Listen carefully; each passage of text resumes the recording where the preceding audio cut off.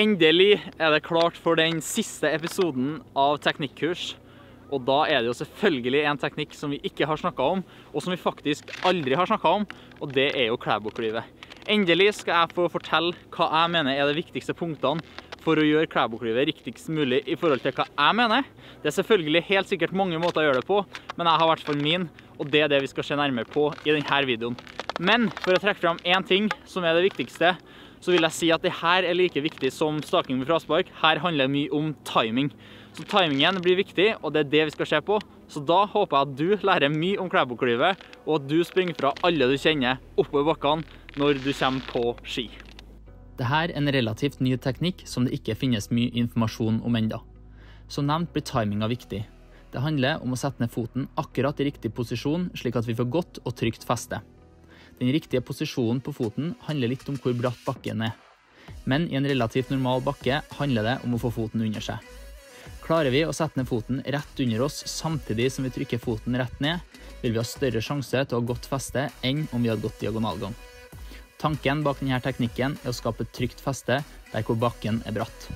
Det skaper vi gjennom å lande rett i et nytt fraspark med en gang foten lander.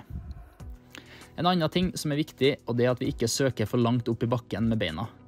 Dersom vi tar for lange steg oppover i bakken, vil det føre til at vi havner bakpå, og at vi kanskje mister en del av festet. I tillegg vil det også kunne være ødeleggende for frekvensen i gåinga. For frekvensen det er en nøkkelting å ta med seg når det gjelder klæboklyvet.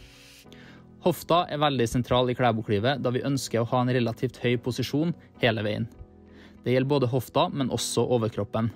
Det er viktig å ikke la seg felle for fristelsen av å legge overkroppen for mye frampå.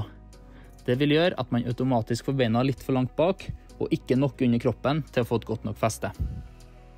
En fin øvelse kan være å løpe på skien der det er flatt. Da vil man få en forståelse av hvordan det er å løpe på skien. For det handler om å løpe så likt som mulig som man gjør på beina. Armene skal vi bruke aktivt hele veien. De er med på å styre frekvensen, det er viktig at vi setter dem ned litt lenger bak enn det vi gjør når vi går vanlig diagonalgang, da vi må huske på at denne teknikken går i en veldig bratt bakke. Men vi ønsker fortsatt å ha ca. 90 grader i albuen, da det er der vi er sterkest. Og armene må ikke glemmes når det kommer til Klæboklyvet. Dersom bakken er veldig bratt og man ikke klarer å holde seg i sporet, kan man løpe tilsvarende bare i fiskebein. Da er det viktig å forsøke å ha så liten vinkel som mulig i skia. Vi ønsker jo tross alt å komme oss fortest mulig opp bakken. I tillegg kan det være en fordel å vinkle skia litt. Det betyr at man ikke lander på flat såle, slik som man gjør om man springer i sporet, men at man kanter den litt. For dersom man springer i sporet, ønsker man å lande på en flat ski, slik at vi får utnytta festet vårt.